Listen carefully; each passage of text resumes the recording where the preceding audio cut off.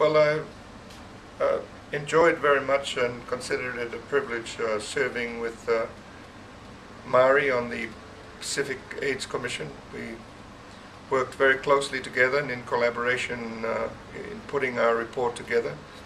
Uh, during that time, I came to admire her work, as well as uh, you know her commitment to that work.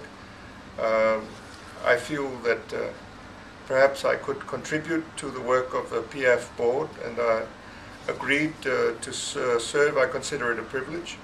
I, I, believe that the work that Mari has started and which PIAF is doing, and especially the current board, which are, are people that I, all, I consider to be capable and uh, committed.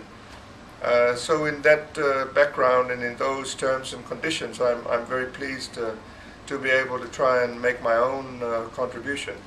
I, I, see the way forward as, as being continuing the work that is uh, ongoing at the moment. I've seen the effectiveness of the current initiative to start uh, Samoa Plus, the lifting of the self-esteem of some of our own PLAs here within Samoa in terms of that structure. Uh, I was able to meet with them uh, last night at the launch of Mainga, and I believe it was very well received. I think it's also helped in terms of uh, awareness and ultimately that will help in terms of prevention. So um, I'm looking forward very much uh, to the challenges, to meeting the challenges, and also working closely together with the hardworking uh, and committed board members that are there now to move forward the vision of, uh, of PIAF.